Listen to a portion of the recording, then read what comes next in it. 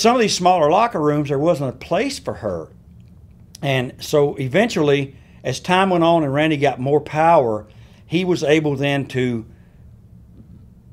force upon Vince to move us out of a locker room and put us in the hallway, and he would take Liz and put her in the locker room and take the key and lock her. I didn't I didn't really like him locking her in the room because if there was a fire or something, he'd go do interviews and she wasn't involved, or he'd go do something, a TV station outdoors or remote. She was locked in the building.